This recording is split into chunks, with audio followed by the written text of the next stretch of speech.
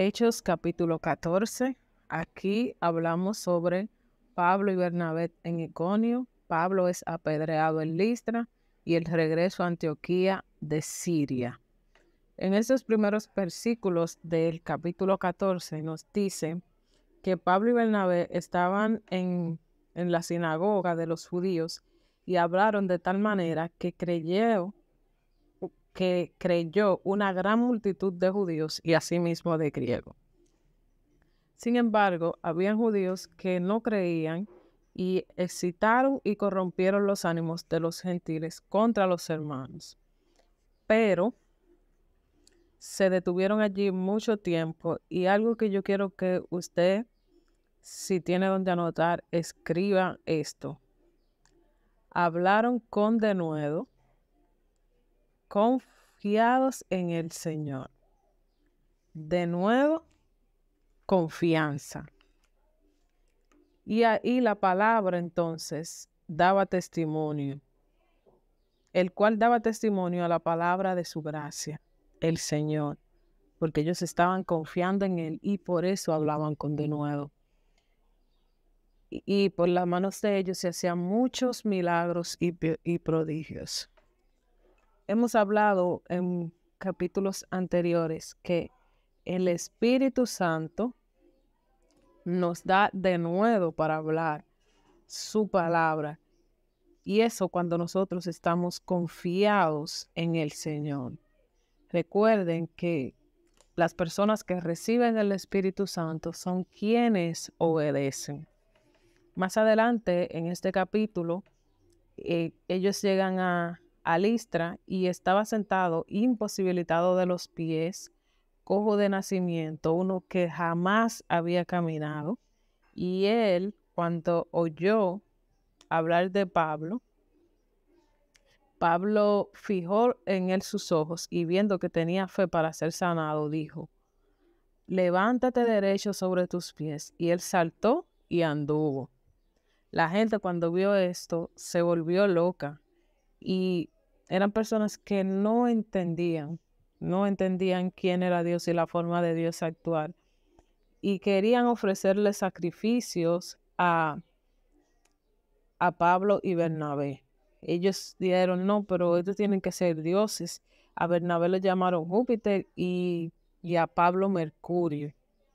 Cuando Pablo y Bernabé escucharon esto, rascaron sus ropas y se lanzaron entre la multitud dando voces. Y ellos decían, Varones, ¿por qué hacéis esto? Nosotros también somos hombres semejantes a vosotros, que os anunciamos que de estas vanidades os convirtáis al Dios vivo, que hizo el cielo y la tierra, el mar y todo lo que en ellos hay. Y comenzó a hablarles y le decía, no, miren, fue Dios el que hizo todo y el que ha hecho todo desde el principio de la humanidad. Nosotros no hemos hecho nada nada. Y ellos diciendo esto, no lograron impedir que la multitud le ofreciera sacrificios. ¿Qué sucedió entonces? Que vinieron los judíos de Antioquía y de Iconio y persuadieron a la multitud y apedrearon a Pablo. Y no solo que lo apedrearon, sino que lo dejaron como muerto, lo arrastraron afuera de la ciudad, a pesar de lo que Pablo había hecho a través del Espíritu Santo era algo bueno, beneficioso para esa comunidad. Los judíos persuadieron a la multitud y esa multitud que era fácilmente persuadible arrastró a Pablo luego de haberlo apedreado. Pero, rodeándole los discípulos, se levantó y entró a la ciudad y al día siguiente salió con Bernabé para Derbe.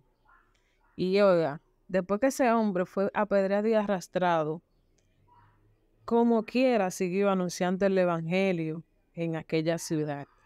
Y hizo muchos discípulos, confirmando los ánimos de los discípulos, exhortándoles a que permaneciesen en la fe, diciéndole, es necesario que a través de muchas tribulaciones entremos en el reino de Dios.